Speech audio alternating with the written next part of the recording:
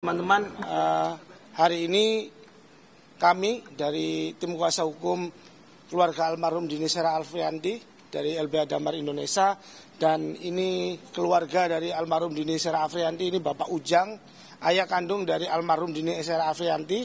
Ini adiknya Alfi Karisma. Kembali hari ini kita masih memperjuangkan keadilan di Republik Indonesia ini. Kita berharap hari ini kita melaporkan kepada Komisi Yudisial atas tiga majelis hakim yang melakukan pemeriksaan perkara terhadap GRT yang kita tahu bersama sudah diputus bebas. Semoga tiga majelis hakim itu segera dilakukan pemeriksaan dan segera dilakukan penindakan dari Komisi Yudisial.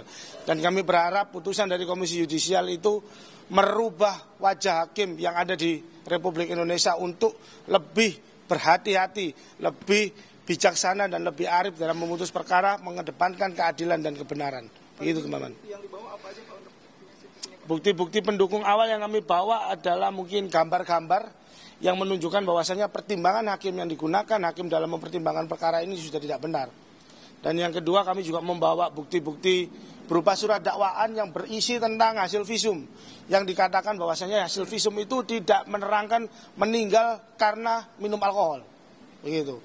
Dan juga kami menunjukkan di dalam surat dakwaan itu juga bahwasanya tidak ada niat dari tersangka GRT untuk membawa korban ke rumah sakit sebagaimana yang dijanjikan pertimbangan hakim dari Pengadilan Negeri Surabaya untuk memutuskan bebas tersangka GRT.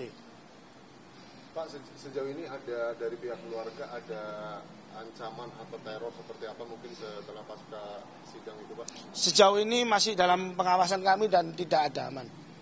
Tapi mereka sudah mengajukan komunikasi nggak Pak, ke keluarga korban Pak, untuk meminta maaf atau apa gitu Pak? Sejak awal kasus ini bergulir sampai dengan kasus ini diputus kemarin dan saat ini tidak pernah ada komunikasi untuk meminta maaf dari pihak tersangka.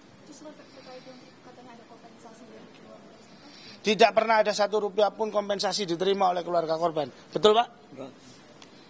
Artinya selama ini juga belum pernah ketemu keluarga dari GNBD ya? Tidak. Tidak pernah. Tidak pernah. Mungkin dari bapaknya apa yang diharapkan Pak dengan kasus ini? Silakan. Sampaikan.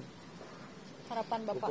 Harapan Bapak mudah-mudahan mohon kepada semuanya semuanya mohon mohon diadil apa Diadili. diadili yang sebenar-benarnya. Harapannya Harapannya mudah-mudahan kasus ini cepat selesai. Dan mudah-mudahan bijaksana hakim dan semua semua ya penegak hukum itu semuanya ama era apa eh, adil. Pak atas putusan hakim kemarin yang membebaskan terdakwa ini Bapak perasaannya apa? Merasa Bapak kecewa, kecewa lah. Walaupun bapak orang bodoh, apalagi orang pintarnya, bapak juga orang bodoh tidak masuk akal gitu.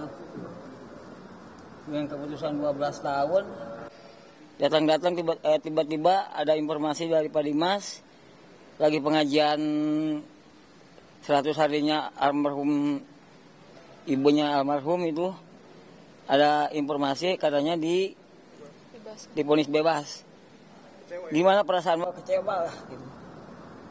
Jangankan untuk ngasih biaya atau gimana ya santunan minta maaf. Ini lagi-lagi diputus bebas. Gimana perasaan bapak lah orang orang orang kecil lagi ya. Orang se- seorang petani disakiti begitu. Anaknya di anaknya korban. Orang tuanya juga Tapi selama ini selama uh, mereka memiliki komunikasi berhubungan itu apakah udah pernah ketemu Pak dengan, dengan keluarga dan dengan terdakwa juga? belum belum pernah.